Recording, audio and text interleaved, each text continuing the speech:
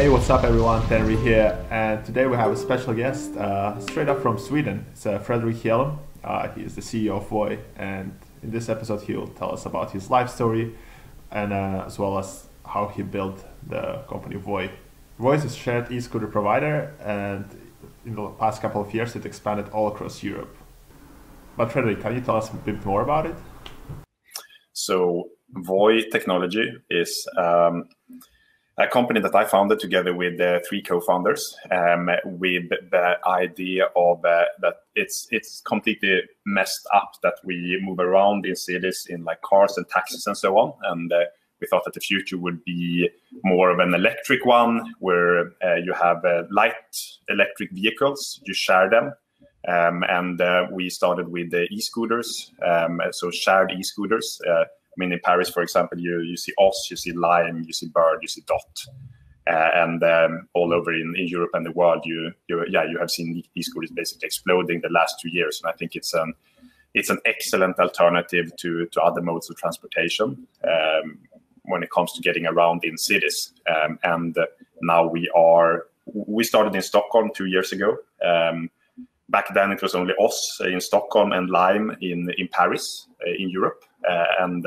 since then, uh, um, as most of you probably know, uh, we have seen e-scooters pretty much in all European cities. We have grown from one city to to more than 40 cities, and yeah, we continue to to do so. So it's clear that it's very clear that there is a demand for uh, new modes of getting around and uh, um, yeah, micromobility vehicles such as e-scooters. And what was the starting point of all of it? Yeah, uh, good question. So I grew up um, um, up in the north in Sweden, so 600 kilometers uh, north of Stockholm. It's pretty much in the middle of nowhere. Um, it's a, close to um, the, the, most famous ski resort in Sweden. It's called Åre, uh, where they do like this downhill skiing championships and so on. Uh, so I don't know. It was already when I was like 12, 13, I realized, uh, you know, the power of uh, running your own projects uh, instead of being employed. I um, knew since I was very young that I wanted to build things. Um, and my first project, like entrepreneurial project, was actually planting trees. Uh, so me and my cousins, we were planting trees in the forest. Uh, we were yeah, driven out to the forest like seven o'clock in the morning and picked up uh, six, seven o'clock in the evening. So we really learned what hard work was.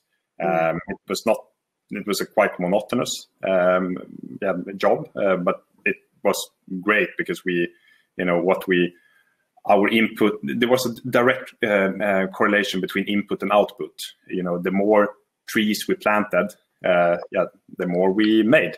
Uh, and mm. uh, i already you know then and through that i learned two things. One what hard work is and uh, second also you know the the um, amazing feeling of yeah when you actually have um, yeah when you have the skin in the game and when input correlates with output so I went from uh, planting trees to selling newspapers.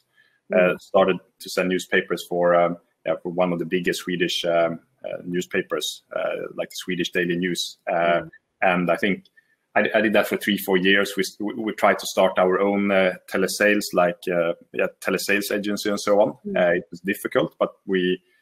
I, I, I, looked back at that I think a couple of months ago or a year ago or something like that, and uh, uh, I realized that I uh, throughout those yeah three four years I got uh, more than twenty thousand no's rejections. Uh, so for me, I think that was uh, I mean that was the time when I really learned to like detach getting rejections from who I am and from you know I, I learned to not take it yeah as personal as as mm-hmm people usually do when getting a reaction.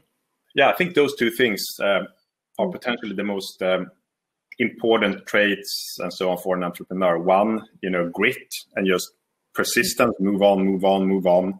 Um, and secondly, yeah, learn how to sell and learn how to convey ideas and do it in a uh, doing it do it in a compelling way. Um, and also, I, I had like personal interest for uh, for technology and computers and so on. And that's of course, yeah, you, you, can get a lot of leverage on code and and computers, uh, which uh, has helped me since since then.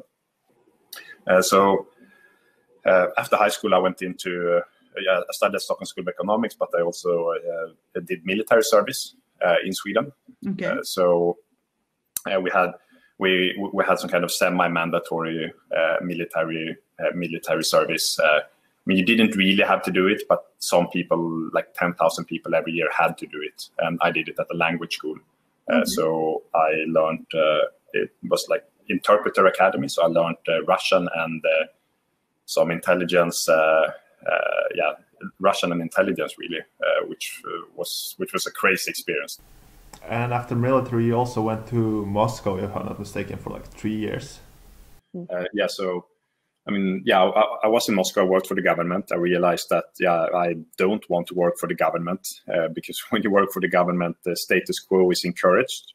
And yeah, I, since I was young, I wanted to build things and I wanted to uh, to challenge uh, status quo. Uh, so in the end, I I quit and um, yeah, eventually started to work for a tech company instead in Russia. It's like the Craigslist of Russia, where people mm. buy and sell stuff. you can buy and sell pretty much anything on that site. Um, and came back to Stockholm.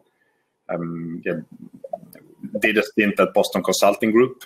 Uh, it's an amazing school. It's uh, uh, you, you, get to work with some of the smartest people out there, uh, at least like the the, uh, the, the school smart. I mean, the most school smart people out there, and then of course there are street smart people, and the street smart people you meet more at places like the family, I would say, and out on the streets. But uh, it's it's a great experience. I love to work with. Uh, uh, with like ex BCG and ex consultant people, we have a few of them at Voi, and you know they, they challenge your thinking like intellectually in such a good way. Uh, so it was a good experience, but the same there, I felt that uh, you know I felt like I was boxed. You know, mm. I was put in this box, and it was a very good box. Uh, it was a very nice box with a lot of other nice people in the box, but uh, it was still a box, mm. and you want to be free. Yeah, me and my me and my cousins, I I had been run, you know, founding and running uh, yeah, different entrepreneurial projects. I tried pretty much anything. I knew that I knew that I wanted to build things, and I knew that I wanted to fr- uh, to be free. So free in the sense of you know I could wear whatever clothes I wanted to. I could work with uh, the people I, I wanted to work with, and I could work uh, the hours I wanted to work, and so on. So I think those two things, the like the desire to build and the desire to be free, mm. uh, had been there all the time. Um, and uh, I mean, my yeah, back to your question. So my my family, my mom is a nurse, and my father is a teacher in entrepreneurship and psychology. Uh, but we have a lot of entrepreneur, uh, entrepreneurs in yeah uh, yeah in the family, or uh, a lot of my relatives are entrepreneurs. Mm-hmm. So I had seen like the power of um, building things from from early on, and mm-hmm. I guess that's what that's what led me uh, yeah to this. So how did this whole share thing come to your mind? when I came home uh, after BCG, I founded another company called Guestit, uh, which is uh, um, um, also in the sharing economy. So we're like a short-term rental uh, platform. So we help people rent out their apartments and homes uh, short-term. So if you want to rent out, if you can go on vacation this summer, which you probably can't, and want to rent out your apartment for four or six weeks, then Guestit come in, comes in and take, takes care of everything. and that grew my fascination for the sharing economy even bigger uh, and uh, uh, realized that I mean this urban transportation question wasn't solved and isn't solved yet. And me and my co-founders, we want to build. We, we, we, wanted to build a big company. We wanted to build an impactful company. We saw interesting things happening in Israel. We saw interesting things happening in Santa Monica with uh, electric scooters, electric skateboards, and you know all kinds of electric uh, uh, vehicles. Mm. and were inspired by that and uh, decided to uh, to go for it in Europe. And who were the people that you started it with? Uh, so uh, Douglas uh, is um, uh, our COO, so he's running operations, and we met in in the army, so military school. So he has a background in operations, logistics, and startups. And Filip and Adam are my technical co-founders, and uh, Filip is a full stack developer. He built the backend, and Adam is a front end developer and built uh, uh, yeah the front end early on. So we had like I think I think it's a good mix. I mean, we had a good mix. We had we had uh, yeah, to some extent like builders, Adam and Filip, um, like operations and doing Douglas, and I uh, did most of the sales and like HR and uh, you know try to find people and the investors for uh, for this. Uh, so I, th- I, think that I mean you, you want you probably want those three things like a seller, a builder, and then operations doer or community. Then we started to look into this, and we saw like all over the world back then. Um, this was uh, to early 2018. It, it was like uh, uh, it, it, was a bit like this. It was something that was about to happen in micromobility in Israel. You saw like all these different scooters, skateboards, uh, whatever, just popping up.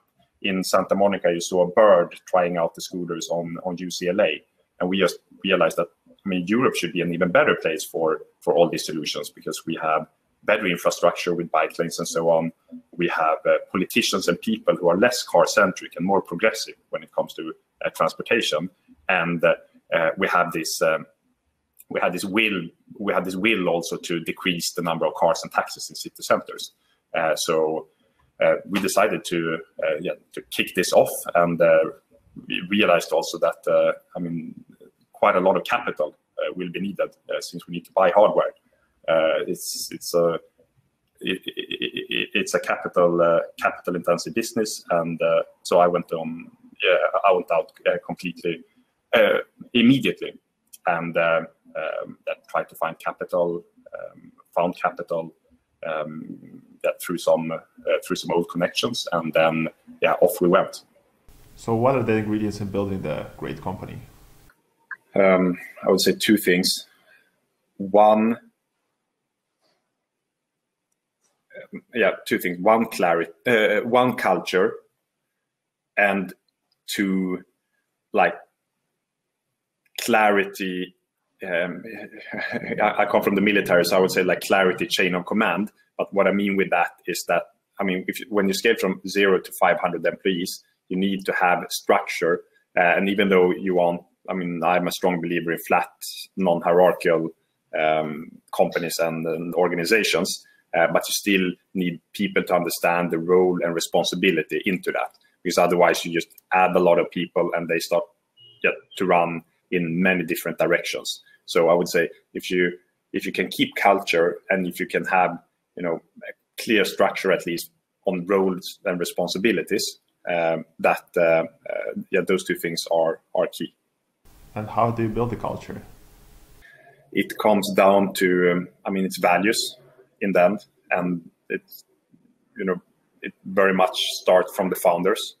I mm. think uh, uh, you know the the cultural values that the, that the founders uh, convey to the organization uh, will be in them those will be I, I, think that's the um, yeah the most important thing and that will like trickle down uh, into down in the organization if you have if you have founders who are extremely creative then you will get you know a very creative organization and so on. If you have extremely structured founders, you will have you will get a structured organization. So it starts it starts from that.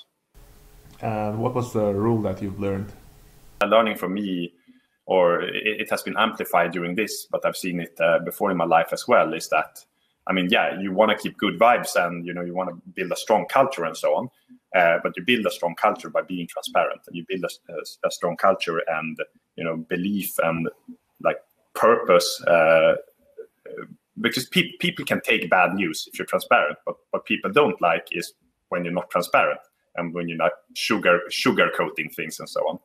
Uh, so I mean, we're trying to to take very much that approach, be quite open with uh, with all of our employees that uh, this is the current situation. This is how much uh, you know. This is how much cash we have in the bank. This is how long mm. it will take us uh, if uh, um, yeah confinement lockdown continues throughout the year to August to next year.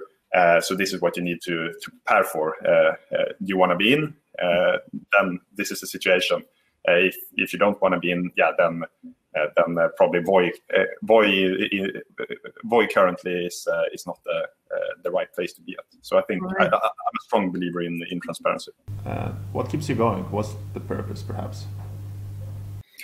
No, to me, it's um, to me it's about purpose. Purpose for me, and uh, you know, also purpose for uh, for our company. Uh, that yeah, what, we are focused, you know, in our little sub vertical uh, micromobility uh, in cities, uh, but we're all, we're also citizens, and we want to be good citizens in the cities we live. And I think, I mean, if you have the opportunity, to me, being a good citizen also entails, you know, supporting other people who are in more difficult uh, environments and, uh, and situations. And um, yeah, to me, it gives purpose. And I think for the organization also, it, it gives purpose. And we would like to involve our employees and the company more in um, in like charity work and so on. Thank you, Fredrik, and thank you, the viewer, for watching this episode. Don't forget to check out the other videos on the channel as well as Instagram page and the LinkedIn. Yeah, we'll see you later and stay safe, then we out.